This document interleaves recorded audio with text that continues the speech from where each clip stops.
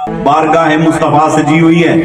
और अबू बकर सिद्दीक जानशीन रसूल, खलीफतुर रसूल सानी रसूल सल्लल्लाहु आप तशरीफ़ लेकर आए और वसल्लम की बारगाह में अर्ज़ की, या रसूलुल्लाह सल्लल्लाहु मैं आज ना एक आपसे गुजारिश करनी है।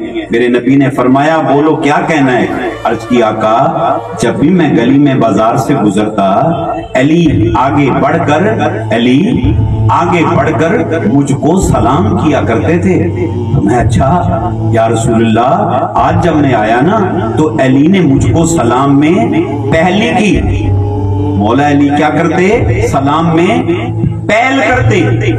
साहबा के साथ कहा, आज अली ने पहल नहीं की तो पूछे ये अली से, अली मुझसे खफा तो नहीं है?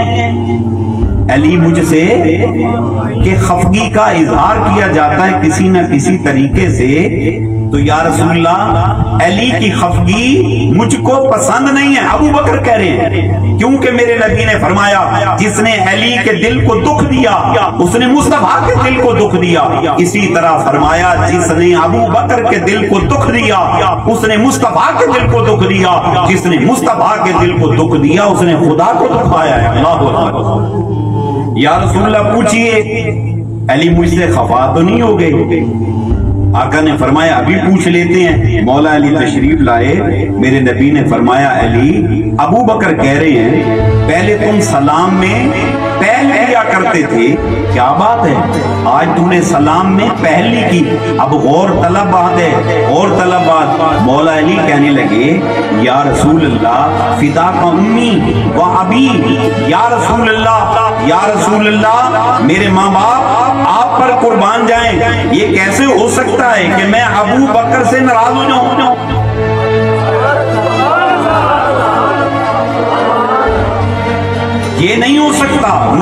अबू बकर की अजमत का पता है। तो फरमाया, अबू बकर कहते हैं, पहले तुम सलाम में पहल किया करते थे, और आज तुमने पहल नहीं की। अब सुनना, मौला अली ने जवाब दिया, या रसूलुल्लाह, आज शब जब मैं सोया तो ख्वाब के अंदर मुझको जन्नत की सैर कराई गई। या रसूलुल्लाह, मैं जन्नत की गलियों में सैर कर रहा था और मैंने खूबसूरत एक बहुत बड़ा महल देखा। मैं उसके करीब गया। वहाँ पर दरबान खड़ा था। मैंने उससे पूछा, मैं चाहता था मैं इसके अंदर चला जाऊँ? तो उसने कहा कि आप नहीं जा सकते।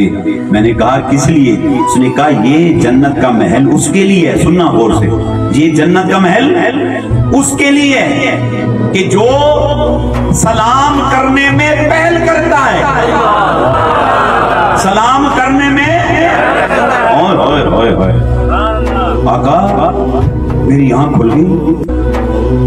मैं जो उठा, मैंने तैयारी की नमाज़ के लिए। जब मैं आपकी बारगाह में आने लगा, मैंने उसी वक्त सोच लिया, आज अबू बकर को सलाम में पहल नहीं करूँगा। अबू बकर को मौका दूँगा कि अबू बकर सलाम में पहल करें। आका, जानते हैं किस लिए? इसलिए मेरा दिल चाहता था कि जन्नत का बड़ा महल किसी और को नहीं अबू बकर को नसीब हो जाए।